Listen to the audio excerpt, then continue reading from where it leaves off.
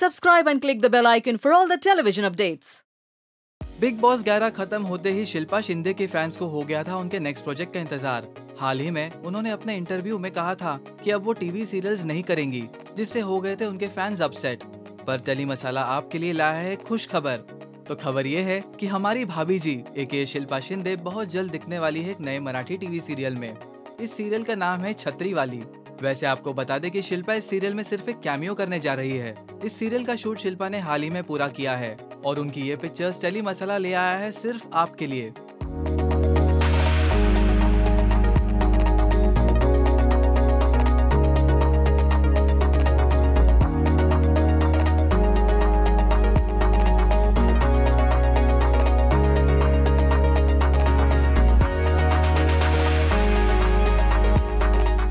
इन pictures में Shilpa Marathi look में बेहद ब्यूटीफुल दिख रही है। वैसे आपको बता दे, ये शिल्पा का पहला मराठी सीरियल होगा। शिल्पा खुद भी एक महाराष्ट्रियन है तो हमें लगता है कि ऑडियंस उन्हें उनके इस नए रोल में करेंगे बेहद पसंद। आपको क्या लगता है? कमेंट्स में हमें ज़रूर बताइए।